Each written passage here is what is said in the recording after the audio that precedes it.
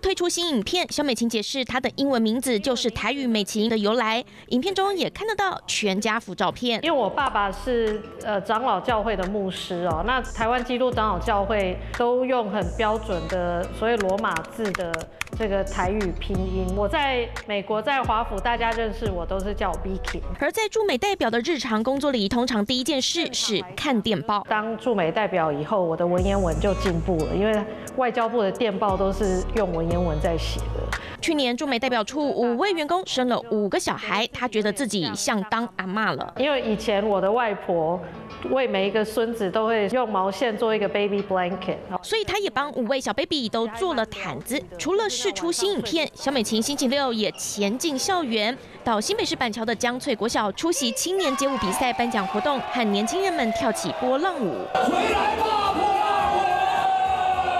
还有年轻人与小美琴近距离接触，好兴奋。这样可以吗？这样可以吗？不过，清华大学原定在十一号邀请三阵营的副总统参选人们与青年座谈，场地租借卡关。国民党副总统参选人赵少康批评是民进党把政治搞进校园。先前呃，我也是到其他县市哦，有一些学校也不方便我们呃到里面去活动哦。我想这个大家呃都会相互的尊重。至于互动的方式，也尊重各学校的规划。